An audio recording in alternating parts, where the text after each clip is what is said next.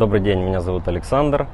А, Я закончил подготовительный курс фронтенд разработки, на котором мы изучали HTML, CSS и JavaScript.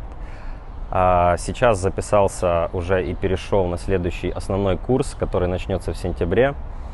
А, Отдельная благодарность э, преподавателю Ярославу, который очень профессионально и, в принципе, даже в какой-то мере интересно все рассказывает. Вот, урок проходит от А до Я и на одном дыхании не замечаешь даже это не какая-то школьная программа там или студенческая, все, все быстро проходит и легко.